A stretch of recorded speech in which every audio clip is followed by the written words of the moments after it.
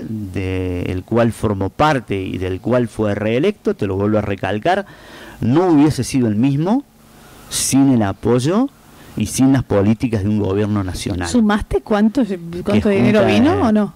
Es muchísimo, estamos hablando de más de casi dos, mil millones de pesos en todo concepto. ¿Acá en las varillas? Acá en las varillas, sí.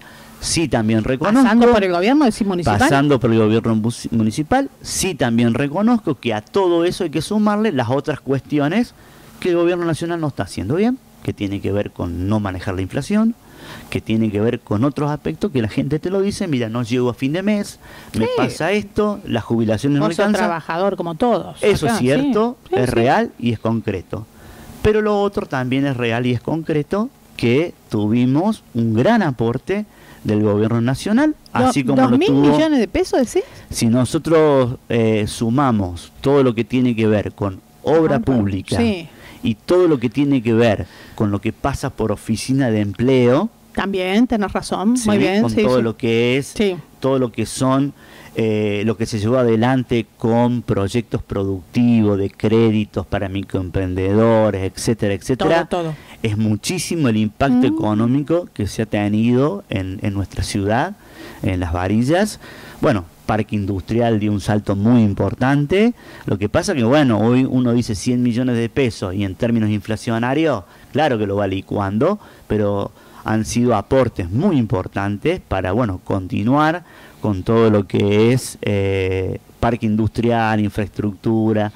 Eh, y lo mismo, no tengo los números en sí de provincia, porque bueno, tendrán esos números la gente que está más enmarcada en el proyecto de, provincia, pero bueno, no nos olvidemos de la escuela proa, el parque de la familia, lo que es el polideportivo, todo eso, ojo que con gestión local. Si no hubiésemos ido a golpear puertas en Buenos Aires, en provincia, y presentando carpetas y, y todo en orden y todo bien, seguramente esos proyectos no serían ¿Quién una realidad. La, ¿Quién abrió la puerta? Nosotros a nivel nacional. ¿Quién, la abrió? ¿Quién, tiene, puedo tenía comentar el contacto? A Andrea que uno de los primeros viajes que hicimos, en el cual participé, le tenemos que agradecer a, al diputado Eduardo Fernández del Partido Solidario que nos recibió después en su despacho, en, el Congreso. Después de ahí, bueno, eh, Eduardo Fernández nos conectó con Martín Gil y con todas las otras áreas y, todos trabajamos, me acuerdo que ahí habíamos ido gente de distintas ideologías, pero bueno, era ir sí, pero vos tenés que tener tu contacto, ¿eh? Ir a Buenos Aires y traer, ¿no es cierto? Vos del Partido Solidario, Eduardo Fernández, después estaba Martín Fernández, Gil, ¿y Fernando Coisé también consiguió mucho o no? Eh, Fernando Coisé nos había hecho algunos contactos. Eh, Fernando Coincé entra a ser parte del Banco Nación. Ah, por el parque. En, los últimos dos años, porque se dio bueno con Caserio y compañía que, que, entraron.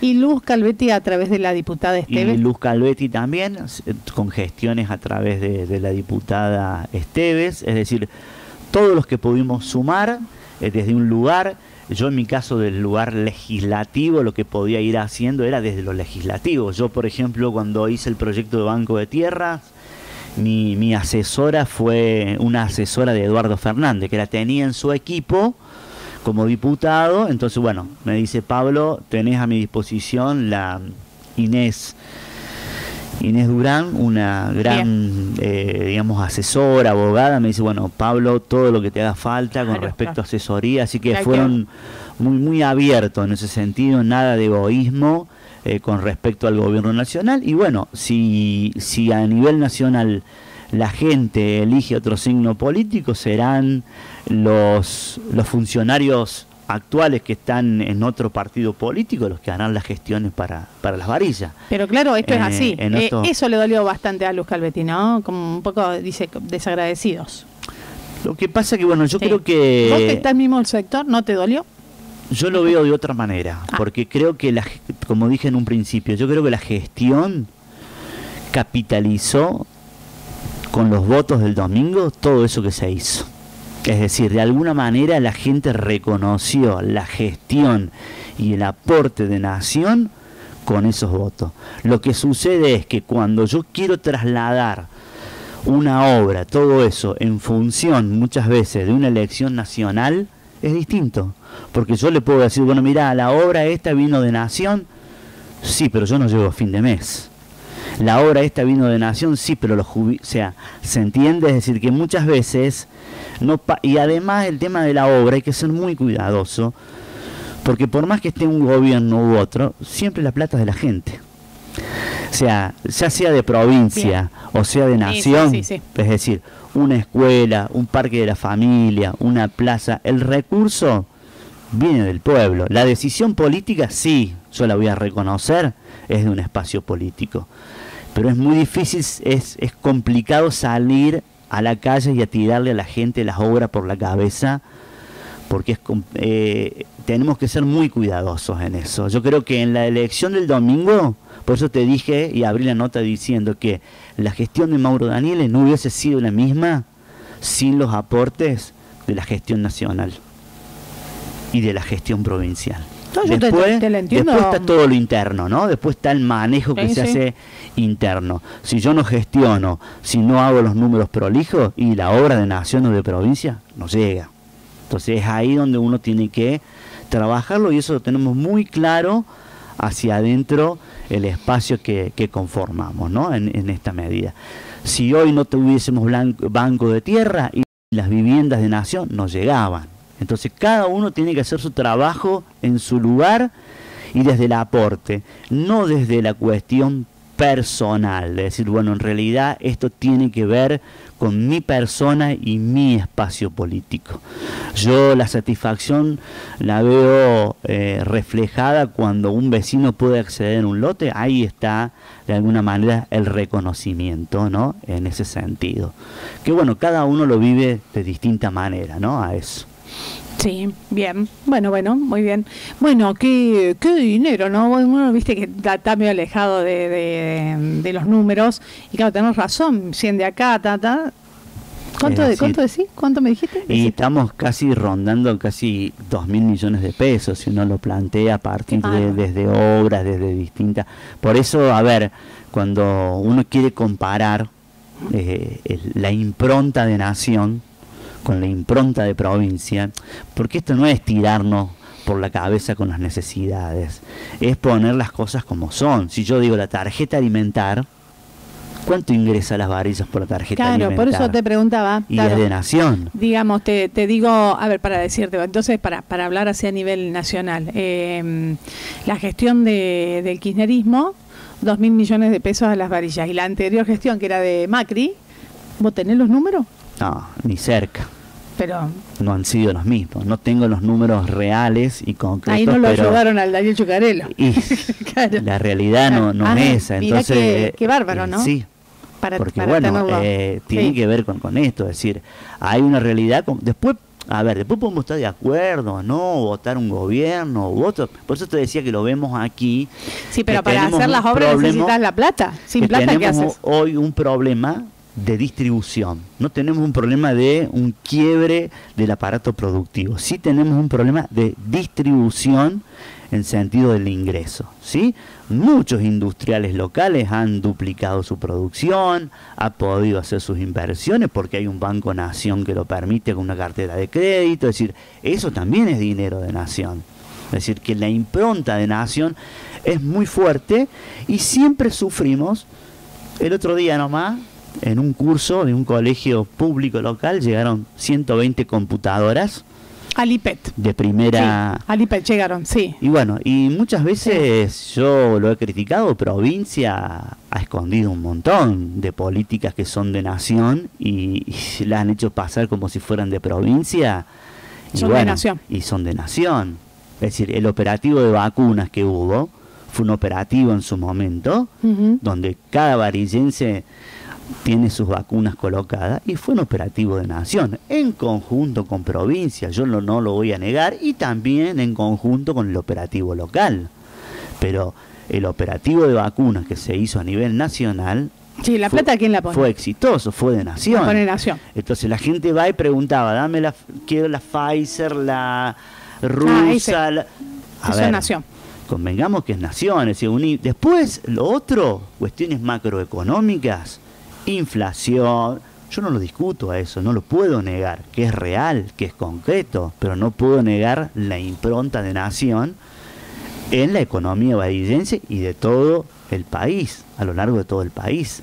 Entonces yo por eso voy a trabajar para que Sergio Massa sea presidente y para que se mejoren las cosas que no están bien, para que tengamos una mejor distribución, para que se vuelva a recuperar el poder adquisitivo de los trabajadores y tengamos un ciclo virtuoso donde se pueda tener, ¿no es cierto?, un ingreso que, permita a los trabajadores, a los jubilados, poder tener una mejor calidad de vida, ¿no? ¿Qué te parece Yarlora? Va a ser bueno, ahora eh, ¿Cómo lo ves? está en términos de definición, no sé si, si va a tener una definición a nivel nacional, porque Córdoba siempre... ¿Ahora decís? Siempre Córdoba... ¿Para la presidencial? Para la presidencial, mm, siempre... ¿Vos qué te parece? No. Siempre Córdoba juega su proyecto local propio. Sí. Eso es una de las diferencias que tenemos.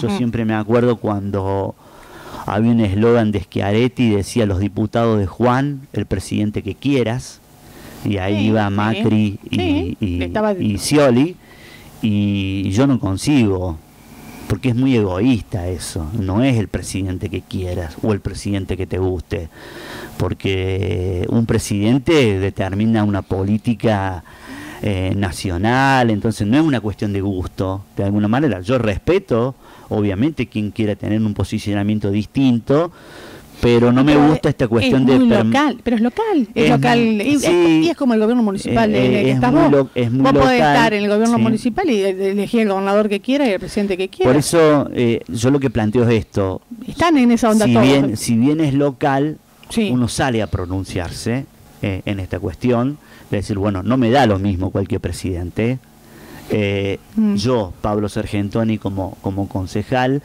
y, veo que Córdoba, por eso te hace un relato, que Córdoba siempre ha mantenido una cuestión que siempre esta cuestión del cordobesismo. Yo concibo que no somos una isla y eso que, a ver, esto no viene de...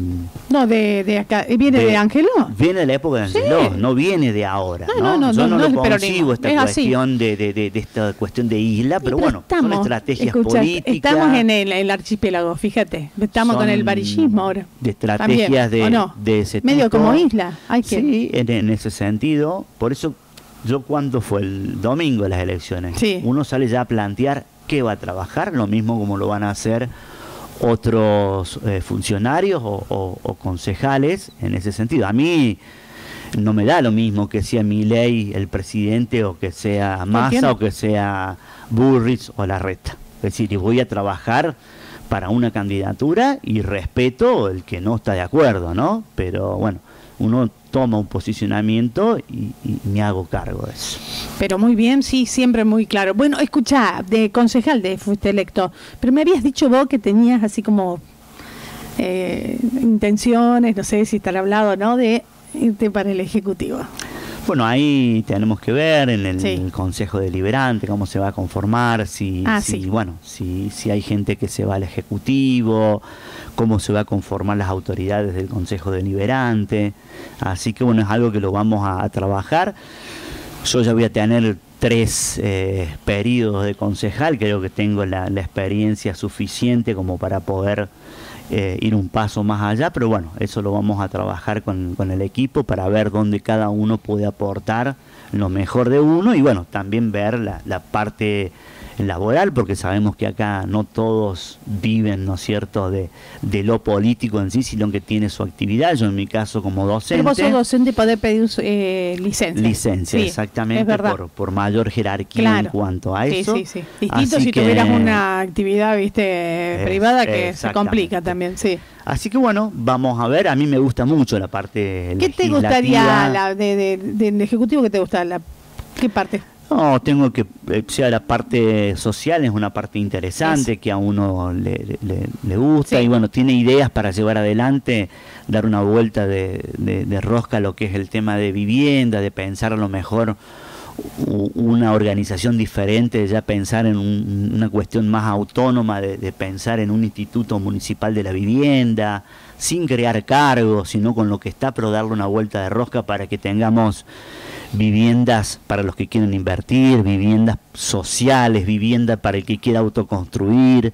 Es decir, bueno, Ah, son ideas, ¿no? Eso sentarse después a ver, porque uno puede tener una idea y después cuando llega y ve la realidad, bueno, se encuentra con algo que, bueno, se puede realizar o no se puede realizar. Así que tenemos varias eh, ideas ahí, eh, digamos, en, carpeta para poder trabajar y, llevar adelante, que bueno, que son una de las grandes demandas, que es el, el tema de, de vivienda, después, bueno, el tema de producción, me interesa vincular lo que es oficina de empleo con producción, nos falta ese nexo del Estado con la producción, ese nexo no lo tenemos todavía y que implique ni que, es decir, por un lado estar en la parte privada y por la otra parte la parte del Estado como una cuestión mixta, ¿no? Ni, ni que quede inclinada la balanza para la parte privada ni para la parte del Estado, sino una cuestión mixta para potenciar el desarrollo local, ¿no? y potenciarnos como, como Estado, ayudando, ¿no es cierto?, a la parte privada y generar empleo y generar, bueno, todo lo que implica el Sí, sí. También a partir de las nuevas tecnologías y, y me interesa también la parte de la, la economía circular o comunitaria, Ah. que es toda una economía que, bueno, que está que es parte, que fue, es parte de una discusión nacional, es decir, los trabajadores que están en la economía comunitaria para que los podamos incorporar a la economía formal. El mundo que viene va a ser un mundo también que, que va a tener que tener en cuenta esa economía informal, porque mucha gente vive de eso. Así que bueno, también un Estado que, que mire para ese sector, no que solamente mire para las industrias ya instaladas, sino que también pueda mirar a aquel que tiene una idea, que, que tiene hecho un trabajo y le falta capital y no lo puede llevar adelante. Entonces ahí el Estado, de alguna manera, conjuntamente con el privado, puede articular y eh, generar un empleo y generar actividad. ¿no es? También es un área que la vamos a trabajar. Que te gusta. Muy bien. Bueno, Pablo, te agradezco como siempre el tiempo que nos destinas, así que, bueno, felicitaciones. Gracias. por el- No, por el muchísimas gracias a equipo. vos porque te lo dije en otras oportunidades, aquí las notas son muy distendidas, uno se puede explayar y, y no está contando los minutos y entonces Sí, sí, sí. eso eso es- está bueno que a veces en, en otros lugares, es decir, en poco tiempo tenés que decir cosas que, bueno, y a veces te quedan y te olvidas. Acá la posibilidad de, de poderme explayar es mucho más. Bueno, bueno, Ah, el bueno. est- un estilo así como más larguito tenemos nosotros, pero aparte profundo respeto, ¿no? Por todos ustedes, Es- la gente del sector político que en épocas de egoísmo eh, eh, eligen eh, trabajar para la comunidad, así que, que no es poco. ¿Qué querés que te diga? Teléfono 24/7 abierto, ¿o no? Muchas Así gracias. funciona esto. Y no es fácil eh, encontrar gente así. Bueno, las varillas, gracias a Dios, tenemos a, a mucha gente que tiene esa opción. Gracias. Pablo. Pablo Sargentoni, a través de su participación en la Vive.